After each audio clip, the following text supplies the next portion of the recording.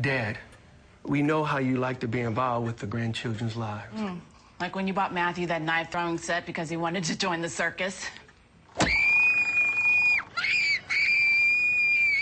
Well, this year, we would like for you to give to his education instead. We started Matthew a college savings plan.